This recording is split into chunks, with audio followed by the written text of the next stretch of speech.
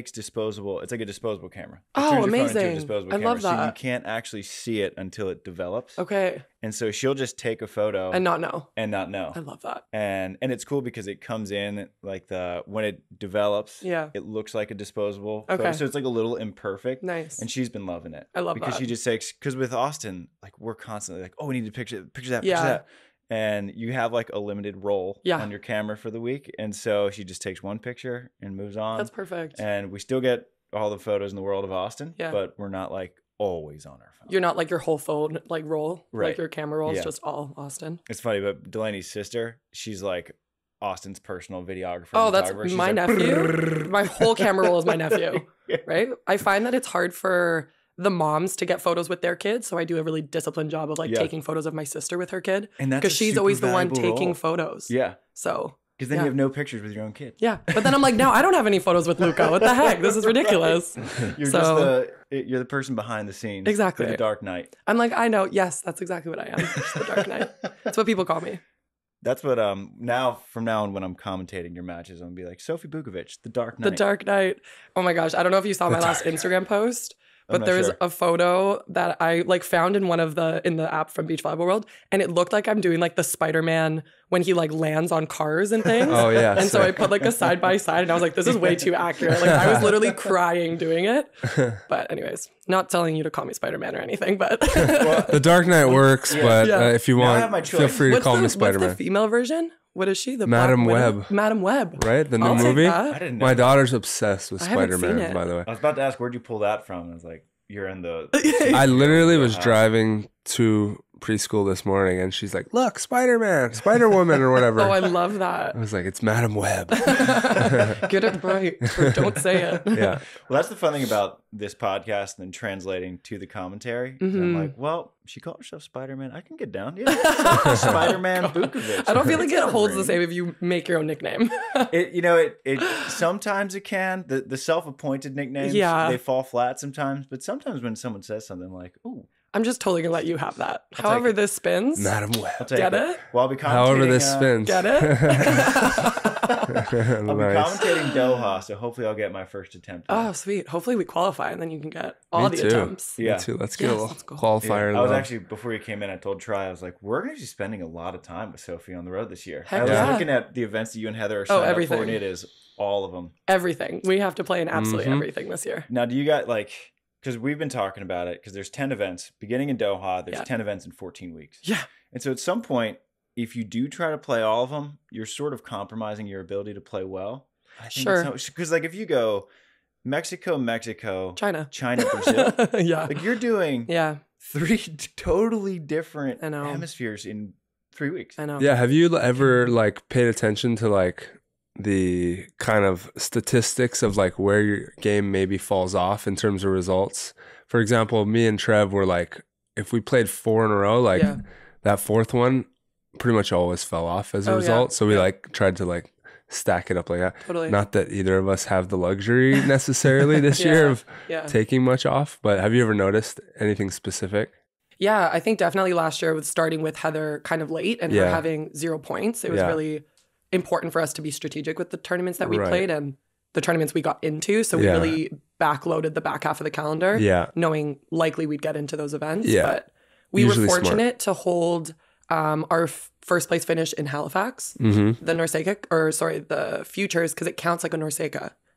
So it could Oh, technically be your like 'cause you're a fifth event. country. Yeah. Okay. So it could technically be your like fifth Oh. event that I could hold in my other four. Only because you're the host? Yeah. Oh, cool. Yeah, so that's why they're like Come on, incentivizing US. people to host. Put something Yeah, on. That's a good point. So That's, actually a they're good idea. they want their top teams to play in it, obviously for Yes. promotion and um, for marketing and things. So but you can't make it hurt those teams Exactly. or else they just can't play. yeah, Period. So it like it. helped us if it helped us, and then if it didn't, we just stopped counting it. Oh, Yeah. Cool. That's why whenever Norway hosted a one star futures in Oslo, Yeah, that Anders would play with like kind of a young kid, Yeah. and Christian would play with someone else. His Smart. family's also the national team. Yeah. Right. I mean, sure. you can just pick a cousin at Yeah, that pretty point. Pick a brother, pick The a cousin. Norway Mols. It's like So their funny. semifinals were like a Mol and someone, another Mol and someone, another Mol and someone else, and Hendrik and someone else. Yeah, yeah, yeah, exactly. it's like, Oh my god, what a guys. phenom family! Holy smokes, Yeah. wild. Well, it's crazy because I remember Anders and Christian came on in 2018 Okay. when they were like just starting to become like the beach volley Vikings, like when they were Right. winning everything. Right. And he said, actually, my younger brother Marcus is going to be better than all of us. That's funny because that's what Hendrik said when I asked him about Anders. I'd never met Anders or Yeah. known about him. And I knew Hendrik from the Youth World Champs. Yeah. And he t- spoke about Anders being way better than him. And I was like, you're being humble. Like, this is just like Yeah. a humble claim. He's like, no, no, my brother's actually super sick. He's like, no, Yeah. I'd love to tell you I'm better. and I than was like, him." stop it. You're being humble. Unfortunately. You're being humble. Um, but they're all just super incredible. I was like, how does it get better than you, though? Right. Because like Hendrik's phenomenal. So, And Hendrik is also just a beast. He's getting better Yes. too. yeah. Like he's been on tour for a while, and he's last year was definitely his best year. yeah. Yeah. I mean, hey, if they're doing it, God damn it. I got to drink some of that Norwegian He's got water. some decent training partners. No kidding. That's what I always think about. I guess that's true. When I was talking to Hendrik and just practicing against Anders all the time, he's like, well, if I can side out against Anders's block, I can side out against any block. It's so true.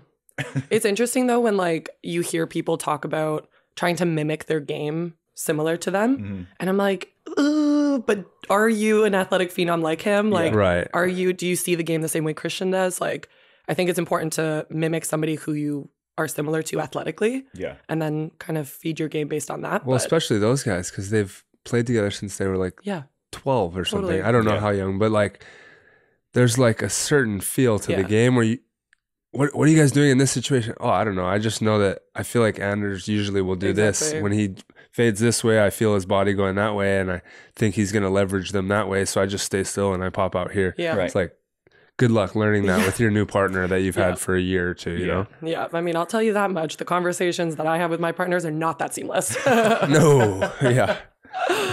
The with Anders, like you mentioned, I don't think it's a good idea to try to do anything Anders does. no, you can't. because it's like telling a high school kid, "Yeah, watch Steph Curry. Yeah. Just pull up from half Yeah. whenever you want. It's fine." Sure. 'Cause, like, Dislocate your hips, put your ass on the sand, you know, depending on who you are. Yeah. I mean, and then get max power from your butt on the sand. Right.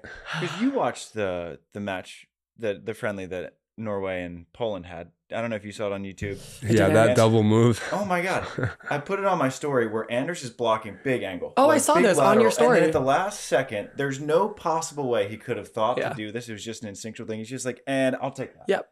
I and like, and "You Christian's behind him. Yep, just what we worked on. I knew exactly what to do. He's like.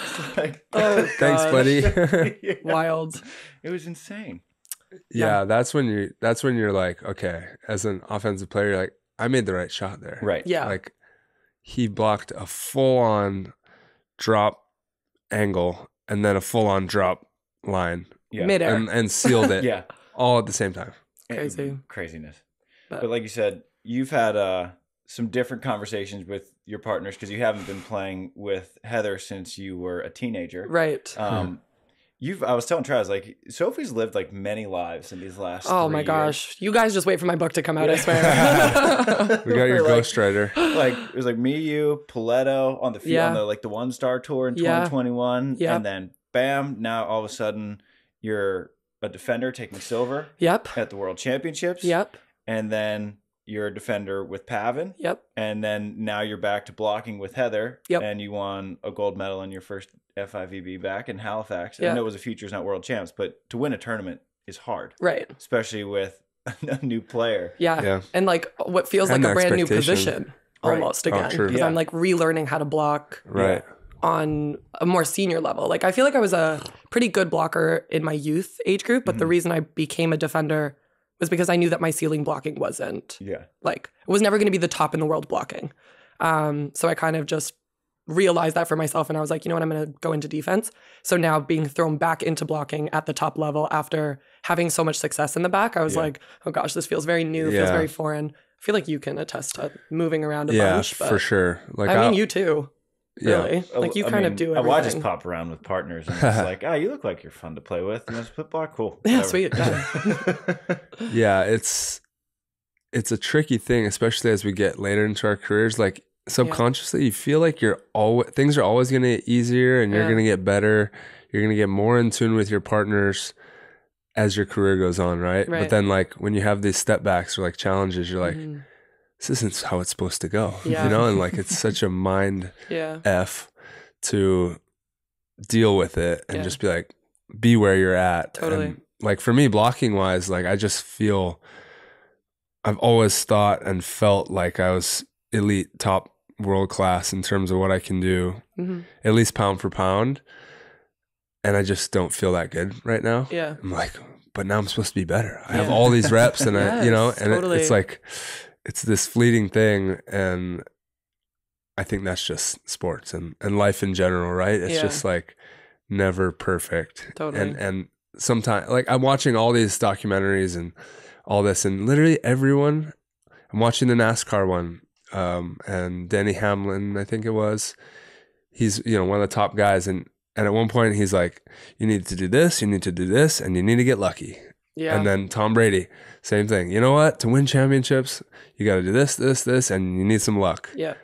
Basketball guys, same thing. I just Yeah. keep hearing it over and over. I'm like, yeah, you really do have to have everything fall in line. Yeah. Like even with the Norway guys, it's like they have this crazy chemistry. They have this freakishly great, uh, you know, element with with Anders at the net, like just size wise, like something people haven't seen Yeah. but then their connection together. If Christian's with Hendrik, who's still amazing, the whole dynamic's different. You know, Totally. if, if they're changing partners, it's like everything has to come together. You need a little luck in there, Yeah. which is uncontrollable. Totally. Right? It's out of our control. And it's, I don't know, I guess I could rant on it all day.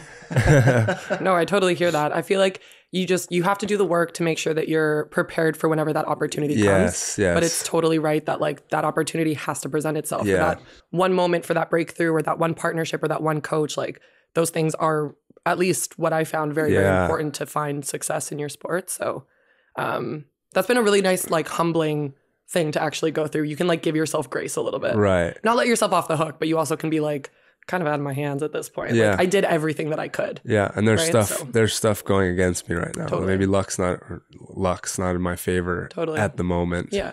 But yeah, like like you said, it's like putting the percentages in your favor and being ready for when that when everything kind of does align. Are you ready, prepared? Did you put all the work in Totally. to capitalize on it? Yeah. Yeah, I really like the way um, Gervais put it in his book. Well, I guess Rickie Fowler. Have you uh, picked up Gervais' new book? I haven't, no. It's uh, you can borrow if you want. Okay, Damn sweet. good. Just while Yeah. we're on our While we're on our, book tour, we'll do a little book swap. I talked to a couple athletes actually about book swapping. We have like a little Instagram group. So Oh, that's awesome. that we don't have to good for the bring, road, 'cause like, then if 12 you just bucks. like Smart. bring two on the road, Yeah. and you can just swap with everyone, then Yeah. your backpack's not like weighed down. But Exactly. it takes me like a month and a half to read a book. it's totally fine. See you in Brazil. we don't need to bring two. Yeah. Yeah. But the anecdote that I really liked was he had Rickie Fowler, Mhm. um, PGA Tour player. Yep. He putted 18 putts. Okay. And first round he makes 16. Yep. And then second round he makes 15. Gervais goes, "Well, what happened?" He goes, "I hit 17 good putts."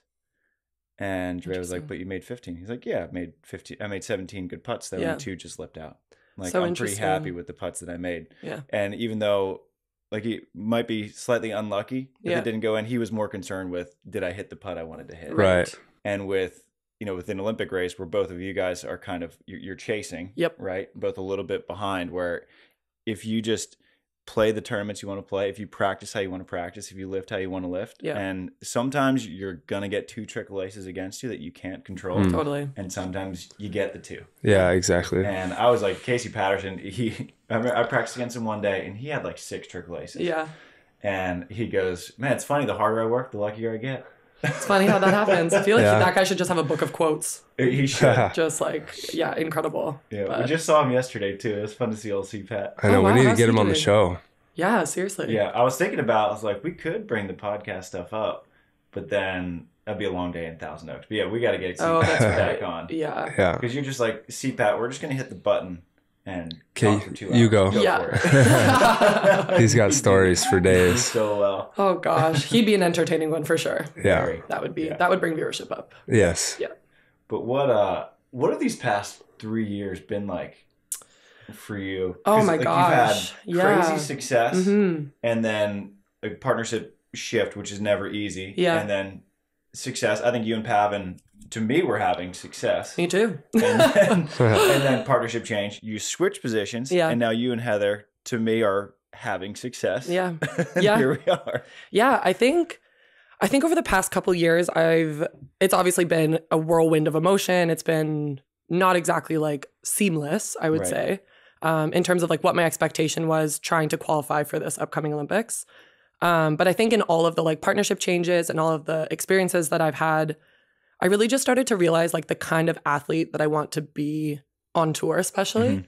Um, I definitely am somebody who works really hard. Like I work hard in the gym, I work hard in practice, but it was recognizing the relationships that my partners have with other people on tour. And so finding like now playing with Heather, especially her coming out of retirement, seeing the amount of people who've gone out of their way to be like, welcome back. Like Yeah. it's so nice to have you back. Good to see you. That's it could be players, it could be coaches, it could be technical staff, like whoever it is. So I think just having now see her in that role, I'm like, oh, it'd be really nice to like leave the sport whenever I do, having relationships with like the most random people on tour, staff, helpers, volunteers, players, coaches. Um, so it, I feel like all of the shakeups have just really made me reflect on like the player that I want to be. Yeah. Yeah. And who is the player that you want to be?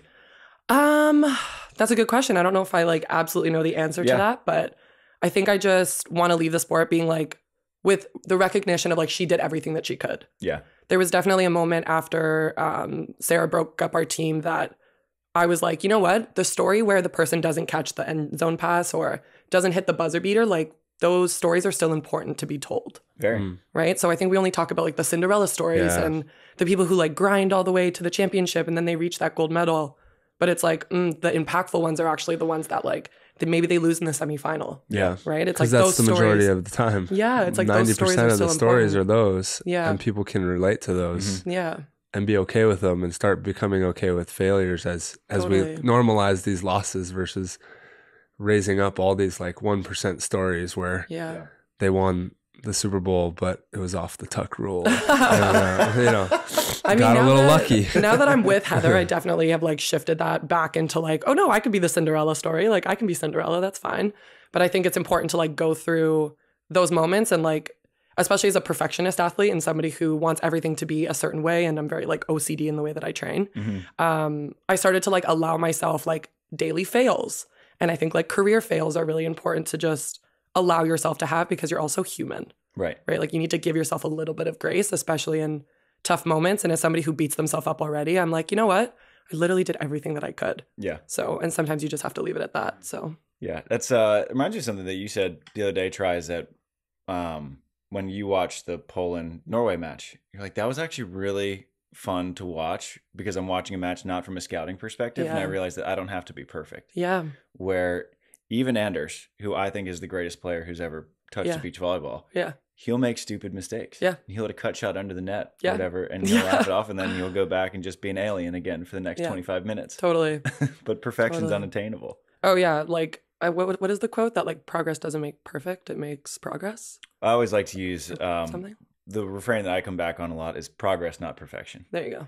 It's because of like because we just have our, our we try to set like kind of our three big intentions every day at practice, and if something doesn't happen or like you know if you're working on option blocking or whatever and you miss it, Yeah, but the intent was right, Right. It's like oh, it's progress. It exactly. perfect, exactly. it's progress. Yeah. Which I was like, I think I got that from um, it was a Denzel Washington movie where he said that. I was like, ooh, that's good. That hits. when Denzel says anything, it hits. But yeah, it's been interesting now, like working with my sports psych that I used to work with with Brandie. Mhm. I'm like back with her, and she does not care about how things feel. She's like, I'm so over this. Like, but how did it feel? Like when you hands at the ball, did it feel that like that Yeah. right way? She's like, who gives an f if it feels that way? yeah, Did the ball go from point A to point B the way that you wanted it? Okay, Yeah. amazing. right. She was like, stop trying to be perfect. Just be very good. Yeah. You don't need to be perfect. like just that. be good. Mhm. Good enough to like do the job that you need to do Yeah. Um, which is very hard as again somebody who's a perfectionist to just be like okay with like good because good for me is just like mediocre. Yeah. right. Um, but did you win the game? Okay, great. Yeah, no, that's what I've been dealing with as well lately. Something for me that I that I tried to work on was was um embracing winning ugly. Yeah, You know, totally. like just like totally. I feel like crap today. Yeah. Let's win ugly. Yeah. Let's make this an ugly win. Like yeah. and it just kind of allows me to be like, boom, bad play, whatever. Yeah. Like I'm just gonna figure out a way to win this match. I don't care if it's done well or what whatnot. Mhm. But that felt like freeing to me every once in a while when I'm instead of being like, I have to take control of the situation and like yeah. make sure everything starts going well. It's like, nah, I'm gonna do the opposite and just let everything be ugly and weird and but I know I can still win it. And then if I do win Right. it, what does that do for your confidence? Totally. You're like, I can "Yes, even I win don't have ugly. to play. Yeah, I don't have Yeah. to play perfect. yeah. I can play perfect. I can play in my zone. And then if I'm not, I can still win. I still have that confidence that I can win. Totally. That was like a freeing key for me because I'm working on that whole perfectionism thing as well. Yeah. We got to get you on more NORCECAs then. Just play jungle ball. Yeah, yeah. And then you'll win ugly for sure. Yeah. I think NORCECAs and everyone will be against you and you'll still have to win. I think NORCECAs are so important. One, the memory bank. Oh mean, all of my, my- gosh. I got some good memories. Yeah. Like all of the most memorable experiences in both good ways and bad. have been are- NORCECA. I mean, like one through ten, it's like NORCECA, NORCECA, snow volley, which is pretty much NORCECA, Yeah. then NORCECA, NORCECA, Yeah. and like you learned to win when you got five minutes heads up, Right. that you None of I feel play. like not none of the memories for me are playing. They're always like either before matches where you're like, is this real? Is this really? you got to tie like, that to the tree. meeting or something where you're like sitting there for an hour and then it's like, okay, we're good, and like there was no meeting. Or like Oh gosh. trying to like get your money and they're like, no, we're not going to pay you if you're not over here and grab it in five minutes. Right. like, oh, it's insane. Yeah, because I remember uh, in La Paz, um, we were playing. We were supposed to play Mexico in like two hours. Yeah. night match. Oh, and gosh. then we, so me and Kyle were just sitting in the tent, and La Paz is one of the better run NORCECAs out there, and they're just calling. They call us on a loudspeaker of the stadium, like, "Friend Mewhirter, like you're up," and we were like, we were just told that we were going to play in Yeah. two matches. Yeah. And we run onto the court. We had like two minutes to warm up. It's windy. It's night ball. It's against Mexico under the lights, Oh, and the, the crowd was rowdy. It was one of the most fun matches I've ever played. Oh man. But so we just like warmed up as we like we just played. Like the the second ball I hit was in serve receive at zero zero. and you just learn to win. I think those experiences are so important. Oh, absolutely. I when I was with Shanice this past year at the World Champs uh, Yeah. Qualifier, I remember them at the technical meeting. They were like, "Okay, the games are going to start at 8 a.m. and then we're just going to roll." What does that mean? we're, we're just gonna going to roll. Everyone just sat under the tent all day. I think the last game was at like 4:30. Oh god. And they're like, It's here's some day. watermelon and bananas. And we're like, do we get to eat? Like, nobody had time to go back to the hotel because it was a bit of a walk away. Yeah.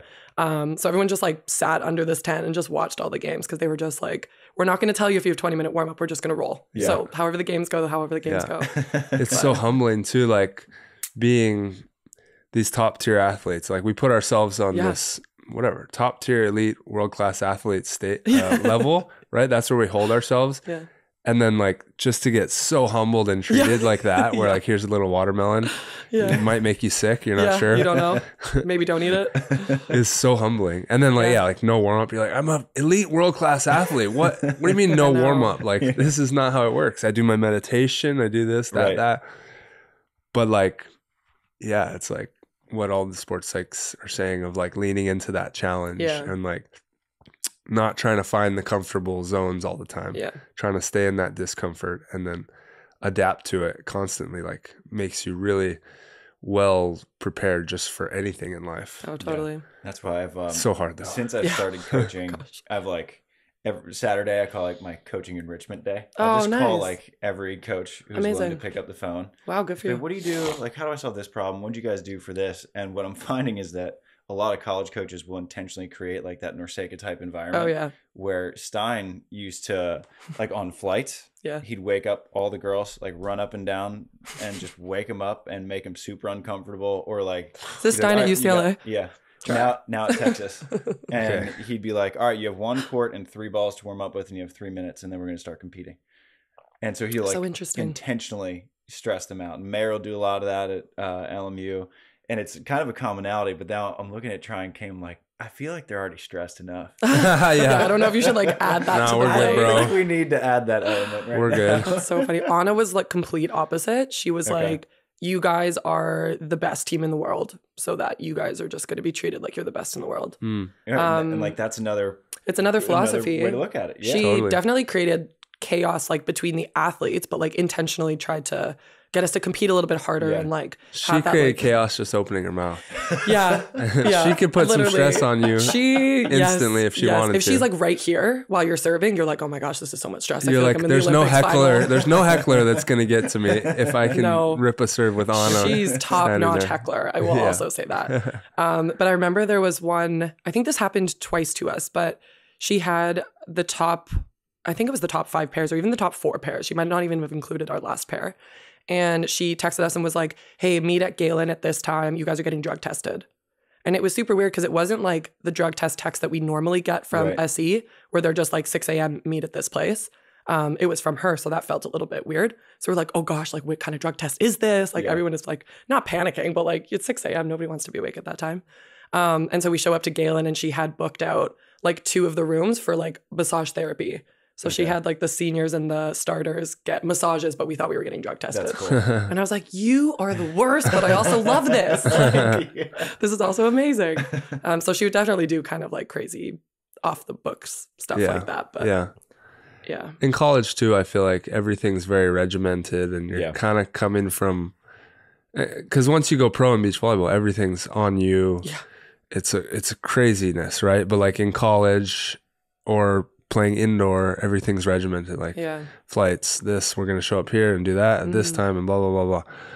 So for college coaches, especially for beach volleyball, to like give you a piece of that that Yeah. that chaos before you leave is, is probably a pretty good idea. Totally. Or else you're just like Yeah. mind blown when you leave. You're like, what is happening? yeah. Everything is way less professional than when I wasn't a professional. yeah. Yeah. When I was playing with Jamie Broder, I went to a NORCECA with her and didn't bring any food, didn't bring any snacks. I was Yeah. like such a little naive volleyball player that had just come out of college. I was like, what do you mean they don't prepare it for you? Yeah. What do you mean you don't Yeah. just like get food and get snacks? This is crazy. So I just absolutely devoured all of hers, but I was so ill prepared because I didn't have really that experience of what it felt like or what was necessary to be a professional while being on these tours. Mm. Yeah. So it's definitely eye opening for sure. Uh, I feel like your learning curve as a professional, like when I saw that on when I was just going through BVB, Oh, I was God. like I can't believe that you're only 28 because I feel like you've just done so much stuff. you've done a lot of stuff. it's actually kind of wild because my mom will say that. Yeah. She'll be like, You've done so much in your little life. And I'm like, Have I? Is this not what like people do? Is this not like a normal career pathway for people? That's that's a good Um, point. yeah. So it it feels like it's just like what everybody does and goes through. Yeah. Um, but I think over the past like year and a half, like I've definitely reflected a little bit more than I ever have about my career. And I'm like, oh my God, I did do all that stuff. That's pretty Yeah. crazy.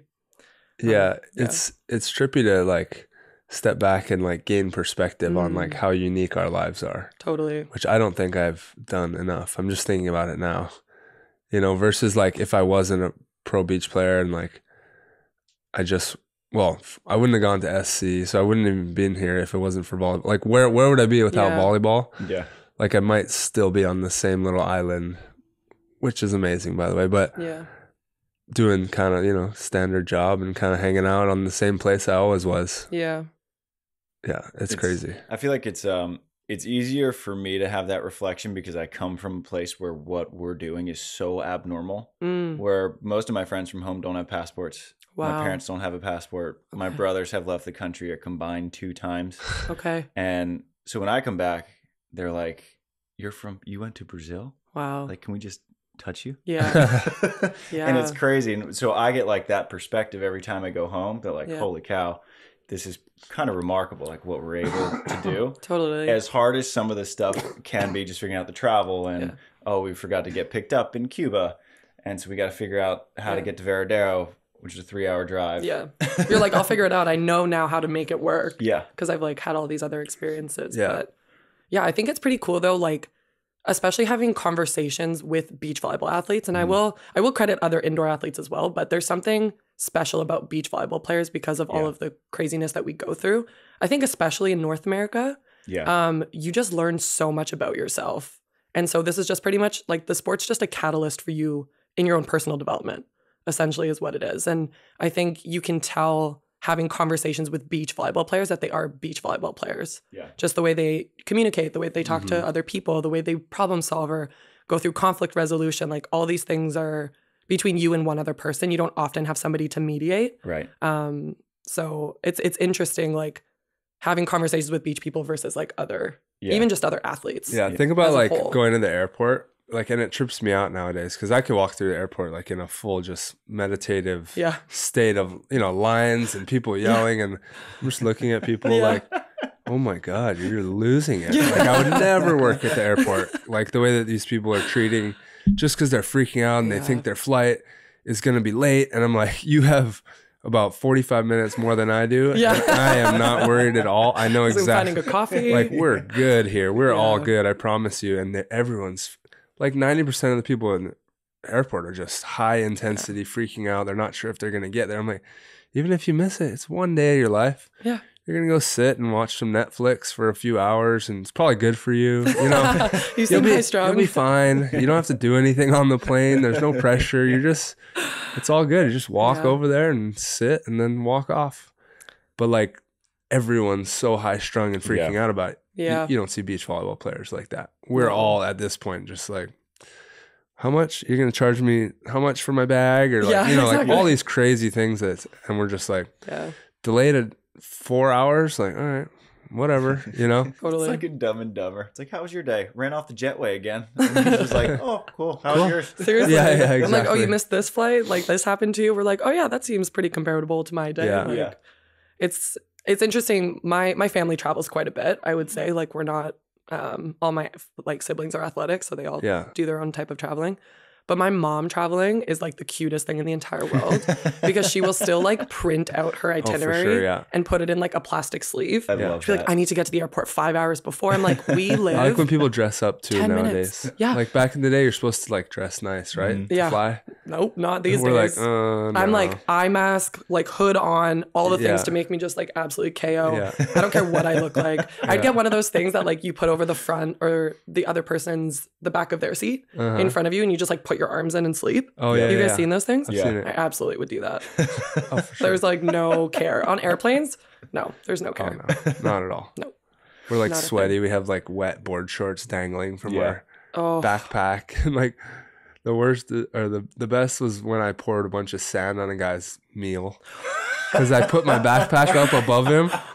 And like you know that little sand, that little Yeah. empty pocket at the bottom, I just turned it and just. oh He no. was so pissed. He wasn't like in a good mood. And like oh no. I was like, bro, my bad. Like he, he was so confused and so Yeah. pissed. oh, He was oh. like, did I just get sand dumped all over me? oh my an- gosh. Yeah, I felt pretty bad, but also kind of funny. I think we have the most amount of plane stories as we do NORCECA stories. yeah. I've had some sure. like hysterical moments on planes when I look back and I'm like, that happened to me. Like Yeah. I I don't know if I've ever told you this, but when I was flying to the Netherlands uh, for the Hague tournament, that's over New Year's. Yeah. Um, it was myself, Julie Gordon, and our coach Adriana Bento at the time, Okay. And we're all sitting in aisle seats, and no one is next to us on the window seat. I can't believe I'm telling this, but whatever. and so the cabin door is about to close, and this like massive Dutch, like ginger Dutch man walks onto the plane, and I'm like, this guy's for sure sitting next to me. Like, there's no way this guy's not. And so he like obviously taps me on the shoulder. I excuse myself and like move into the aisle. We're delayed on the tarmac for a bit, and he goes, "So are you a talker or a sleeper?" And I'm like, a bit of both. First mistake. Always a sleeper, always Yeah, a just- sleeper. So this guy's like talking my ear off. Anyways, we're up in the air and I'm watching The Crown on my phone. So I have my phone like perched up on my tray table and I'm wearing Bluetooth headphones, like Yeah. full headphones. And he taps me on the shoulder and he goes, What are you watching? Oh god. And I was like, Oh, it's Oh, called The Crown. It's like an hour and 15 minute, like per episode. And I'm like halfway through the second season. He goes, Can I watch with you? And I said, Well, sorry, like, I don't know how this is gonna work. Like, I have Bluetooth headphones. And uh, he like looks and he has like his regular like jack headphones. yeah. And so he like tries to plug it into my phone, and any like 21st century person knows that's not going to work. Right. My Bluetooth's going to disconnect. So I was like, sorry, like I'm not getting anything. And so he looks at me and he goes, oh no. And I don't know how to say no. So I take this headphone and I'm sitting with this random Dutch man, like watching the crown On your ear to phone. ear on my phone on the plane. Julie and my coach are like, what are you doing? And it wasn't like, a. It, it had a cord. It Yeah, it was a wasn't. cord. It wasn't. Oh, no! that was like, this is me and my boyfriend in high school, like trying Right. to like listen to something. Oh no. So then the episode ends, thank gosh, and I'm like, okay, I'm gonna go to sleep. So I put my like head on my tray table, and it's over New Year's. Yeah. And so the pilot comes on, and he's like, I just want to wish everyone a happy New Year's, like very, very serene voice, everyone's sleeping. This guy pushes me off my tray table, screams Happy New Year's in the airplane. Oh my so now gosh. everybody on the airplane is looking at us, and it is my nightmare to be looked at in public. and so now I'm just like cowering in my seat, being like, "Oh my god, what did I get myself into?" Oh, so man. this word, words of advice: always a sleeper. Yeah. Everybody, Oh my always a God. sleeper. I thought he was gonna try to like snuggle on your pillow. He's like, Honestly, "Can we that share that where pillow?" that That's where I thought wasn't that was going. that you know that wouldn't be far from what He just kind kind of puts his head on your back or something, you know, like, on your Yeah. shoulder. You're like, okay. If somebody did that though, would you stop them? I feel like I would just let them sleep. Well, I've uh yeah, I've I've woken up like I've fallen asleep and I've woken up and the person in the middle has like their head has fallen onto my and Yeah, I've done asleep, I'm that. like, well, all right, Yeah, go for it. I'm buddy. like, you just I'm go just to gonna sleep. hang out. I'm Yeah. not gonna wake you up. yeah, but if they do it on purpose while they're awake, That's like to get comfy, yeah. like, and no, no, no. They're bro. like nestling like a cat. You're like, Yeah. no, this is a little much. yeah, yeah. yeah, yeah. If it's a conscious effort, it's a no. We've watched a show together. Like, this is we're this at is this Netflix point. and chill, right? This is Netflix and chill.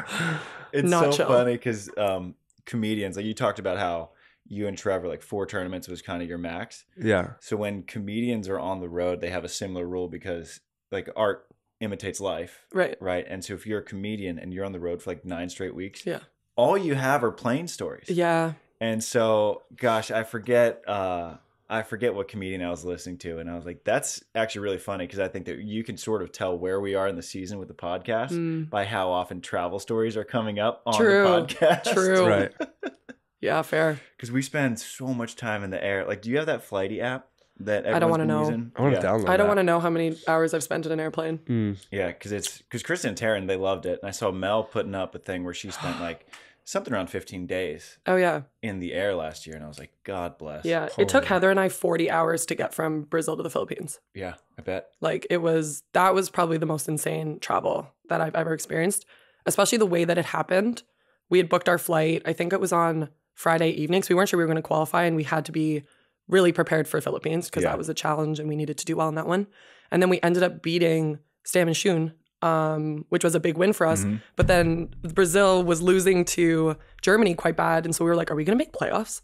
Like, are we going to have a three way tie and then end up like making it through?" Yeah. But anyways, we like booked our flight for 5:45. Our game was at three o'clock. I was like, Heather, we're not making this. We need to change our flight. She was like, we can make it. I was like, veteran Heather thinks we're making this Yeah. flight. This is insane. So, anyways, it's probably like four o'clock. We've like run back to the hotel, barely showered. We're disgusting. Grab our bags, grab an Uber. We're in the car watching the score of like their game happen. I get a message from my travel agent saying, canceled your flight because I'd been inquiring to her about changing. She's like, yeah. canceled your flight. So Oh, now I'm like in the in the Uber being like, dude, what the heck? I have to get to the Philippines. What do you mean you canceled my flight?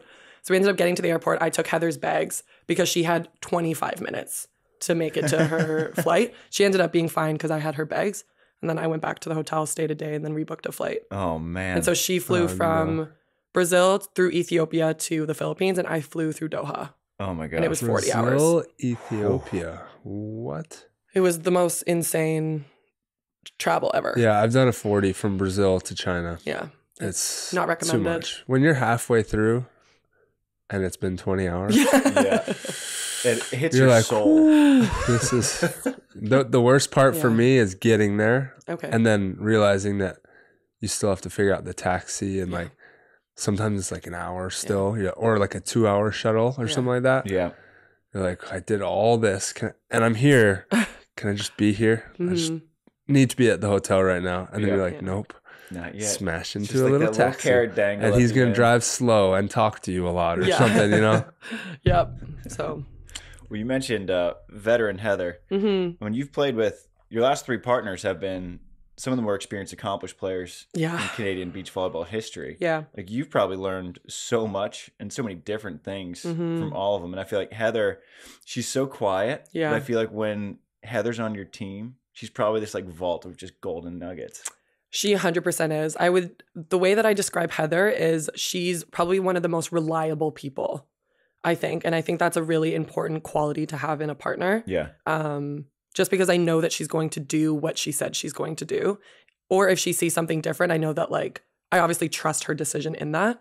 Um, but she is just like, she seems super quiet. She works incredibly hard, but she is top 10 funniest people. Really? She is the so quiet ones that she's so, so subtly funny. funny. Yeah. If you watch her and Sam That's so interact, true. Yeah. Oh my gosh, they are because they've known each other Sam for forever. Yeah. Okay. Um, and so they have all their little inside jokes and they're so comfortable with Yeah. each other, but she is very, very, very funny. I will tell you that much, which I think surprises a lot of people. Surprised me, It to would surprise me.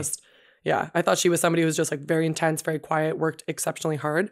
All those things are true. Plus she's also like part-time comedian, I swear. Yeah. So funny. well, how did uh how did you guys end up partnering? Because I know that Heather was coaching, Mhm. and then because that was no like small thing, right? For her to go from coaching to playing. Yeah, it was a pretty big deal. Um, so after uh, Brandie and I split up, there was thoughts of like, okay, well, I considered myself to be a defender, Mhm. so I only looked at blocking options. Yeah. But then there was also a moment where I was like, do I call up Heather? Like, I don't even know if she wants to play, if she wants to continue to play. I didn't really know her at this time. hmm I think we had maybe had like a handful of conversations Yeah. um, up until this point. And so when Sarah and myself, when we broke up, I asked Heather if she'd be willing to like come out of retirement and play with me um, for the next two years, and she she really missed competing.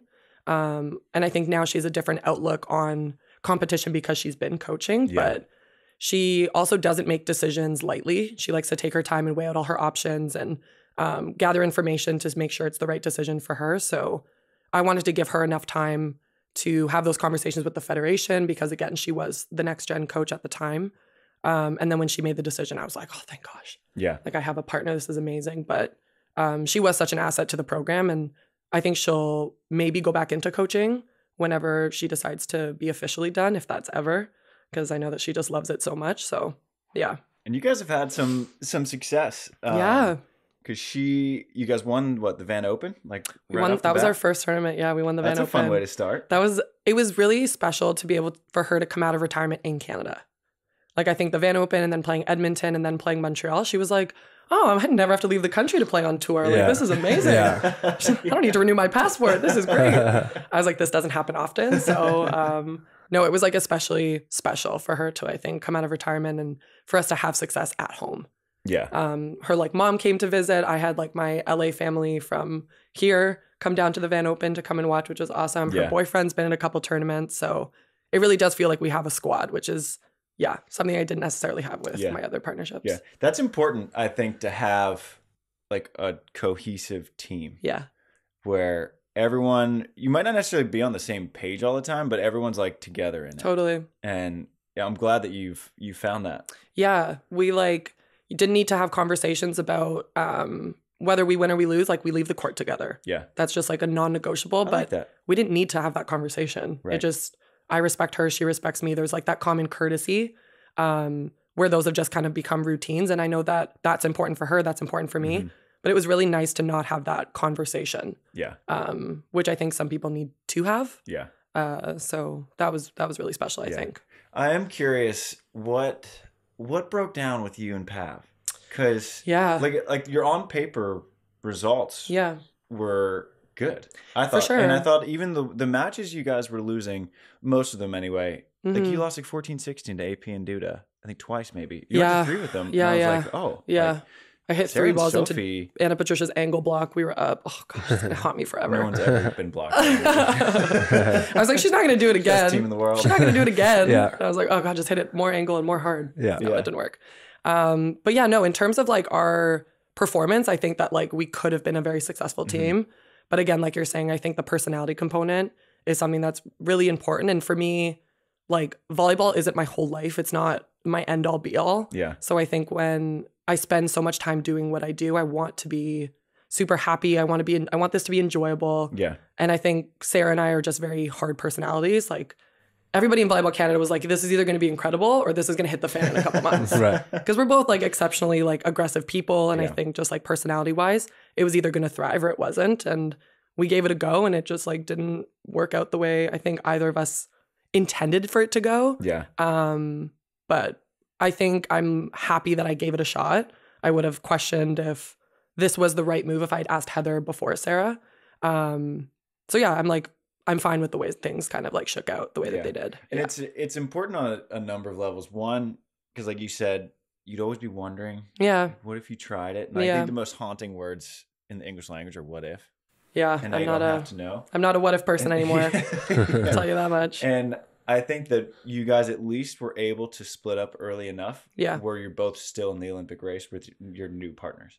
Yeah. and so it's kind yeah. of like blessing in disguise win for both sure. of you. Yeah. I don't Yeah. think that was like the intended plan, obviously. Right. Um, but I'm like happy that the conversations we had happened when they did, um, at the tournaments that they did, so that it did give us opportunities to like find other people that we find were more suitable for ourselves. Um, yeah, and it gives Canada, you know, an extra team in the race, which is interesting because we've not often had like three actual teams that could be vying for an Olympic spot. Yeah, I think that uh, I think the Canadian women's race and the Swiss women's race are the two Ooh, most oh, interesting. yeah. So Zoe and Anouk Yeah. are within 20 points of each other. I'm like, whew, oh that's tense household. Yeah. Man. I'm like, you like your sister? How much? Like, oh gosh.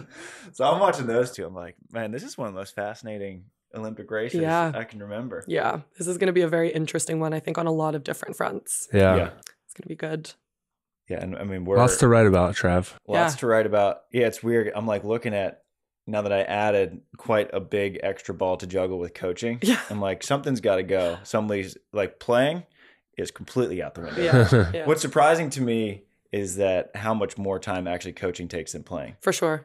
Because like once I was done practicing as a player, I was done. Yeah. It was like, you know, maybe two and a half hours Yeah. a day. And then, but that was it. But like coaching, when a practice ends, I'm like, all right, well, now I need to take these next couple hours to figure out different ways we can solve different problems and like what are the what are the big things we improved on and what are the things that we're still lacking and how Right. can we improve that and how can I communicate that so like no one's gonna kill each other. Yeah. I feel like, especially with how like intense and contentious this year is, yeah. I think having that part of coaching is really important. Just like, how do I have these conversations with these athletes? Because like tensions are already high. hmm I feel like that's Right? ninety percent. I'm finding that's like ninety percent of coaching right now. Is It is. how can I communicate the message in the right way that Tri's going to hear it, and how can I tweak that messaging that Chaim's Mhm. going to hear it, even though it's the same message. Totally.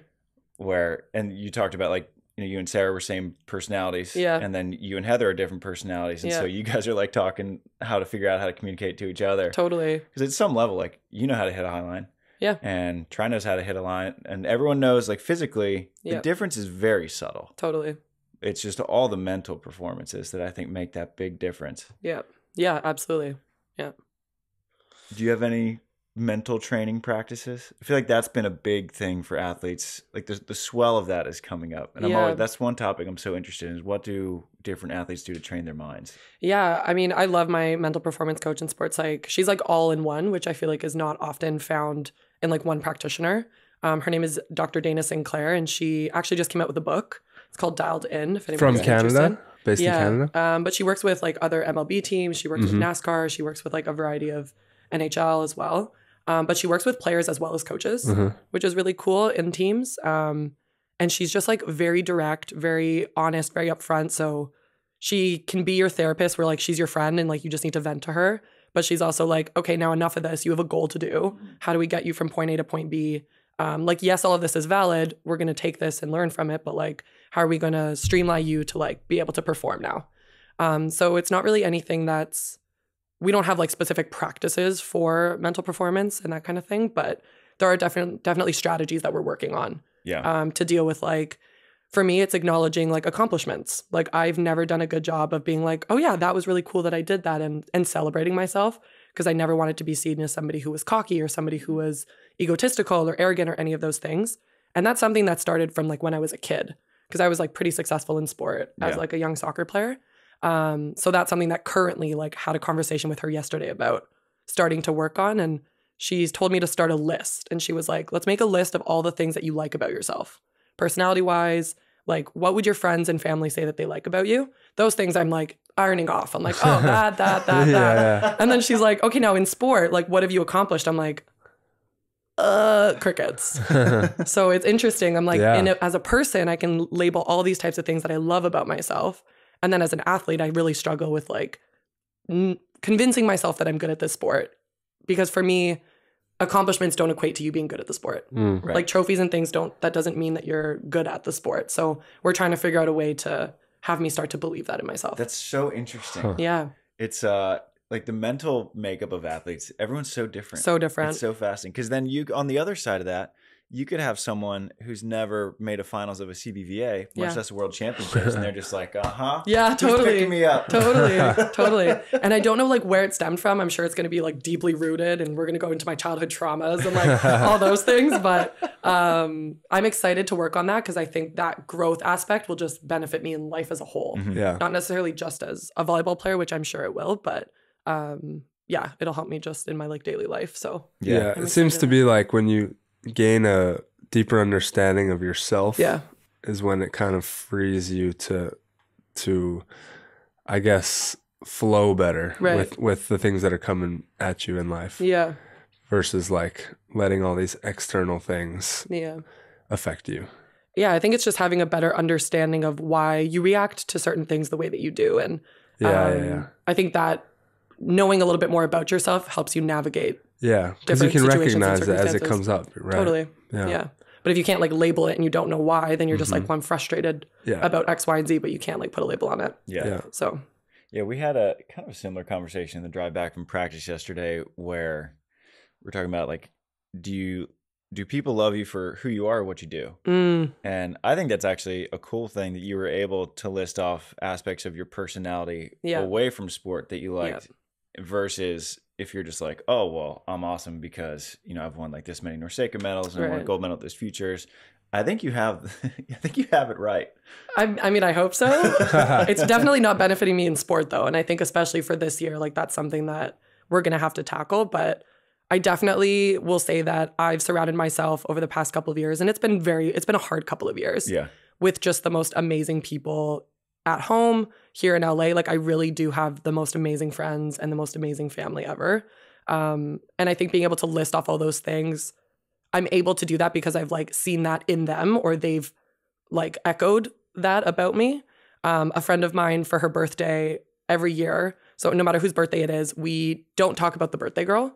The birthday girl goes around the table and she says something that she likes about everybody Oh, cool. in the room or like something like that she values or something that she wants to be better in herself because of the people she surrounds herself with. So I think my my group of friends is really introspective and they really reflect on who they are as people. And that definitely helps me be able to like say it out loud and be like, I am really thoughtful. Like I am really right. all of these different things. Uh-huh. So Huh. yeah. And you've been able to surround yourself with exceptional people. I mean, if you just think about your class at USC, Yeah. last year at World Championships, I was like, all right, that was, I think there were nine Yeah. people from USC, including the men. So you, Sophie, Therese, Sarah, Kelly, uh, I counted Gustavo, Megan. uh, Megan Kraft, Yeah. and there were, I think there were two more. Tina. Uh, Tina, and then we're missing either eight or, or we're missing one. um, who could have been there? But Yeah. oh, Julia, Oh, Scoles schools. Yeah. was SC. Of course. Um, and I don't think you would constantly be in these exceptional groups if you were not also exceptional.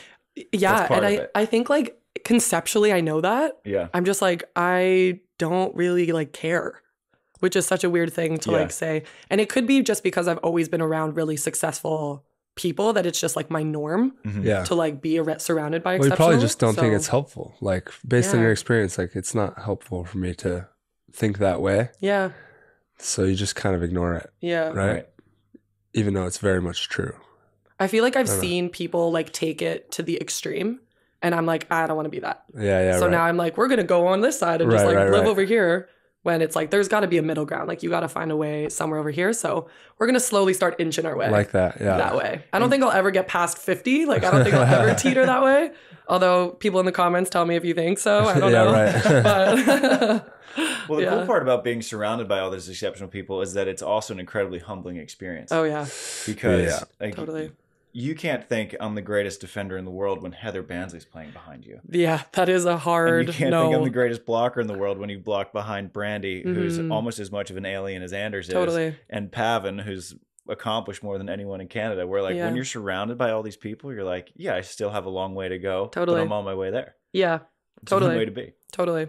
Very humbling, I would say. And I've I've been very lucky like throughout my entire career. Like I look at the list of people that I've played with and I've always been able to kind of level up with my partnerships. Mhm. So I was the younger athlete that got picked up by older athletes. And then that person would retire or start their life or start a family. Then I was like, okay, well, what's the next level? Pick up that person and then like so on and so Yeah. forth. And I was like, man, none of my partners are still playing. Like any of my old partnerships are like not playing because they've all started families Yeah. or like moved on with their lives. But for me to be able to be 18 years old, 19 years old playing with Jamie Broder, like that's crazy. Yeah. Playing with Victoria Altomare at the time, who was like this goddess to me. So I've always been able to play with really successful Canadian alumni, at least in like Canada's book. Mhm. Um, so yeah, I've just always been able to like look up to my partnerships and things like that. So I'm excited for the time that I can do that for a younger athlete. I don't know how long I'll be able to do that for, but Yeah. to be able to pick somebody up and like really guide them the way that I was fortunate to be Yeah. guided. So And it's well, it's a tricky dance too because at, at the on the same same time you can look at Heather. Mhm. Like I can look, I I'm going to look up to you because Yeah. Heather. I think I think Mel will get there, but I think Heather right now is the greatest defender Canada's had. Oh, she she built the program on her bareback. Yeah. That girl. Like she, you know, didn't qualify for 2012, but she had no funding, no Mhm. coaches. She was the first person to move to LA. Like anything that Canada has built as a program and everything that Canadian athletes have been able to be fortunate enough to experience or to have the bare minimum funding that we do have is because of Heather. Mhm. Like n- no one else. And I will 100% like go to the grave saying that she is the whole reason that Volleyball Canada exists on the Yeah. beach side. So, um, yeah, sorry, I didn't mean to like cut you off. I just needed to say no. that. I'm throwing praise. That's awesome. yeah. But at the same time, where you can admire Heather for all she's done, like you're also an equal on the team. Yeah. Where is, is that hard for you? Where if she says something, to say, you know, I just like I I see it this way, Right. because it's like who am I to disagree with Heather Bansley? Totally. I think it depends on like what the situation is because there's Mhm. definitely more experience there. Like she knows more than I do in beach volleyball. She's had a million more touches than I have. Um, but we did a, a radio interview when we were in Edmonton, and she's the first partner that I had that actually referred to our team as a partnership, Really? which I found to be really funny. Like a lot of people would be like, "Oh, this is my partner," or "This is my teammate," but teammates and partnership are very different Mhm. like you guys in your marriages are partners with somebody like Yeah. you go through life trying to problem solve and do all these things with a partner versus just like your teammate that's just Mhm. like your buddy that you're Yeah. coexisting with versus somebody you're like collaborating with Their Yeah, problem's so- your problem. Their Exactly. success is your success. yeah. Yeah. so it was really like it it actually thrown me it like threw me a little bit to hear that from her um also because words are really important to me but for her to be like i think she got asked something about her like mentorship and her um experience as a volleyball player and then she looked at me and she was like well sophie knows just as much as i do like she's also an experienced volleyball player so this is a partnership and i was like oh that's so nice to like actually hear that from somebody and for her to like say it without being prompted to have to say it which was really special so Yeah. Yeah. Very cool. yeah Well, it's cool to see you. Uh, you landed back on your feet. I duh, it's You're like I'm a cat. I'm just a cat. Spider Man. Yeah, I mean, hey, Spider Woman. you know, I should be wearing all black. That'd be a fun uh, rebrand. Well, you do. You're doing like some kind of business. Is it Yeah. Like an apparel thing. um, I was doing an apparel. So funny enough, you Okay. mentioned like talking about what if. Yeah. Me and my friend Karen often like now we change that vernacular to like even if. Okay. So instead of like what if this happens? Oh, what if I don't qualify? What if I get injured? What if I do X, Y, and Z? Okay, even if you do, you're Mm. gonna be fine. Yeah. Like your your life is gonna move on. You're gonna put your pants on one leg at a time the next day. Like yeah. you're going to be fine. Um, so just kind of changing the even if to what if, or from what if to even if has been helpful. Um, but that's kind of taken like a background Okay. just with all the other things Yeah, that I have keeping the main thing. going main on in my life right now. Yeah. Yeah. Um, but I'm actually just starting to program for my academy that's happening this summer. Very cool. And uh, I just brought on Jake MacNeil. my guy. yes. I love Jakey. I miss him. I haven't seen him in a long time. He's I think he's in New Zealand right now with Alex Russell. yeah. yeah I So- think they're doing the New Zealand, Australia, Yeah. back to backs. Yeah. Well, Jake. I mean, talk about a guy who's lived many lives. That's another one. Jake another has one. Been everywhere. Everywhere and back. Everywhere I went on the road, because me and Jake traveled together, we did like 12 of the same FIVBs one year. Wow. And everywhere I went, he was like, Yeah, yeah, I spent three months here. Yeah. It's like, why? He's like the most nomadic human ever. And I'm like, but why though? Like, go home.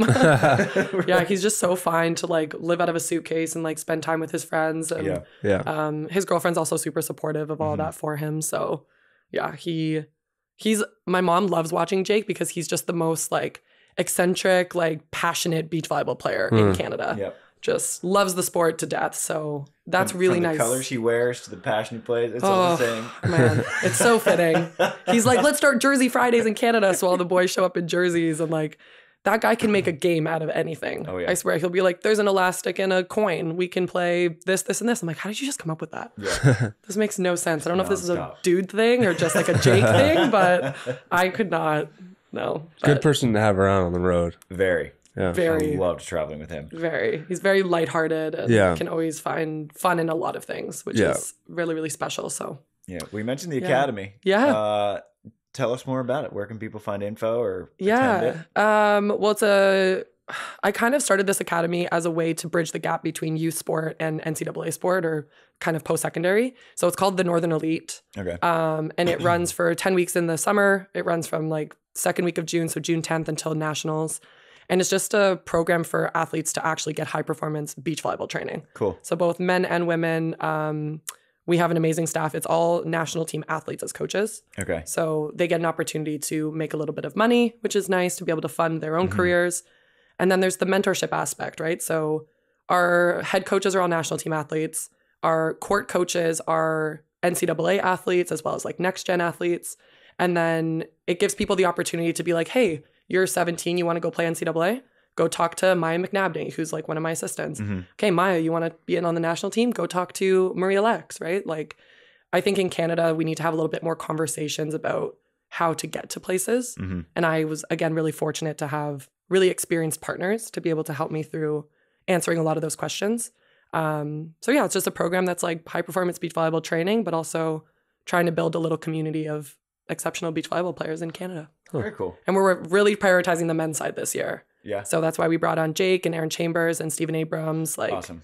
it's we're gonna there's a little bit of a gap that we're missing and i'm i'm gonna be the one to try to fill it Yeah. so alongside all these other Well, coaches Canadian women, y'all been holding the torch for a while. I mean, yeah it's gonna it's only gonna be up there for a little bit longer though Like, maybe just because there is there is a little bit of a gap um age wise i think Yeah. in like what the next level of athlete is yeah. maybe not maybe somebody will come out of the woodworks We'll find another unicorn i don't know Yeah. but yeah a couple of these unicorns are gonna be done soon Where feel can people follow along you Yeah. and your many journeys that you're going to be having this year? Um, probably just Instagram, to be honest. Okay. If that works in all the countries that we traveled to. But yeah, I would say there. and then you got a website for the academy. Yes, the northernelite.com. NorthernElite.com. That's a cool name too. I Thanks. dig that. Thank you. Yeah, Yeah. our um a lot of people get surprised by the like logo of it. So it's I call it NTE essentially and people are like, "Well, why is it not TNE if it's the Northern Elite?" And I was like, "Guys, it looks like a podium." if you like look at my logo, it like it's Oh. supposed to be a podium. Oh, Funny okay. enough. So, like yeah, it's not TNE everyone. I was like doing the, the image Yeah. in my head. Yeah. That's sweet. once you see it, you'll be like, oh, okay, she kind of tried. Nicolette actually helped me with the logo. Oh, she's She created it for me. Yeah. I called her one day. I was like, hey, I need a logo ASAP. She made it for me in like five minutes of course because did. she's exceptional. So, yeah. Well, Soph, great to have you in. Yeah. Thanks for Um, having me. We'll be seeing a lot of you on the road. Yep. And So we'll, Yeah. uh, Bring we'll a couple of arrange our book these. swap. See you out Yeah. Bring some mics on the road. Seriously. See you at the That'd be fun. buffets. Oh my Same gosh. buffet every day over and over. You want to have some more chicken and rice? yes. Hopefully. Hope, yeah. Right. Yeah, usually we're like praying for just some clean chicken and rice. Oh, yeah. Maybe not the chicken, but yeah. Depending on what, depending on where we are. yeah. Well, good luck this year. Um, Thank you. You guys I'll too. Thank you. Yeah. rooting from afar, Yes. and sometimes rooting in person. I love it. Yep. Yeah. Amazing. Thank you. Thanks, Sophie. Appreciate it. Yeah. Shoots.